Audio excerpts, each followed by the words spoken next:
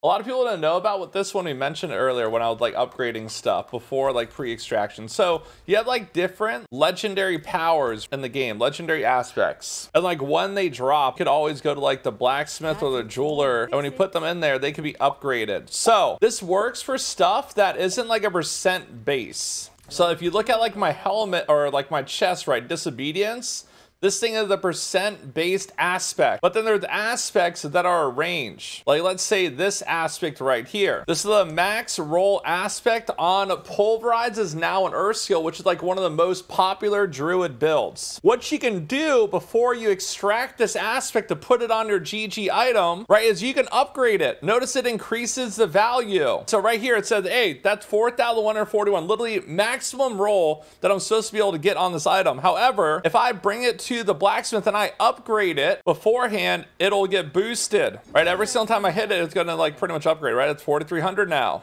That's the max range is 4,300.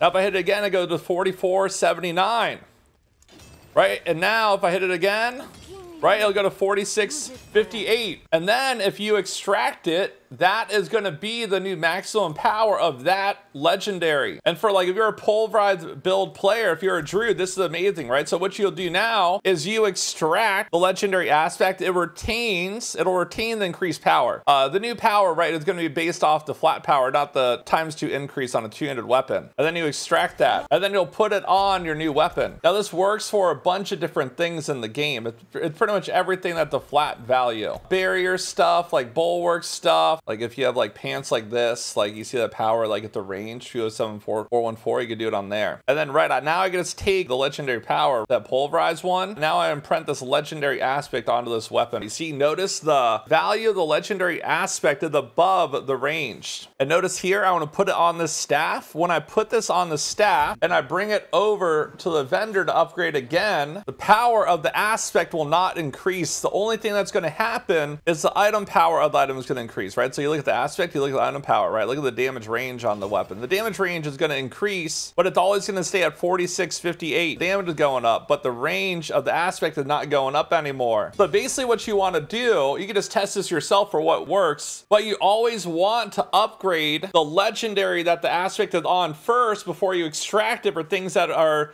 essentially in a range and not a percent because it'll increase the power of your legendary aspect and it only works before you imprint it onto the new item. That'll work for like like earth and bulwark stuff on Druid, that works for the pulverize with an earth skill, it works for barrier stuff. It wouldn't work for something like let's say your core skill damage is increased based on your fortify amount. It wouldn't work on your Grizzly Rage stuff. Like it wouldn't work on your percent stuff over here. Like you pretty much want to, you want to upgrade your legendaries before you extract, before you imprint it on your GG item.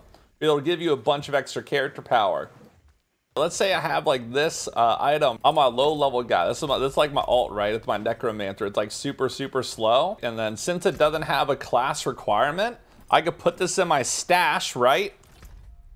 I could go on my druid and I can imprint the power on there. Or you could put like a, like a damage increasing power on it. So you see now, I just imprinted this legendary aspect on my high level character on my low level character's pants, right? And notice the item level on the pants is still the same. It's still level 10 equipped. What you could do if you have a high level character with the Codex of Power, when you're leveling, you just put a few items, right? You could use your amulet, put like a DPS related uh, power on there for your class, right? Just from the Codex of Power, because you unlocked everything on all of one of your characters, you can apply them to any of your characters. And now for my little alt necromancer look, I have 360 life, but now I got a pair of pants that grant me a barrier for 8,954 life. So you could basically use the Codex of Power on your main character, transfer your gear from your alt, and you can enchant it and it'll get the more enhanced powers from your Codex of Power at a certain level tier, it's like, I believe it's like level 85 or whatever, the aspect from your codex will actually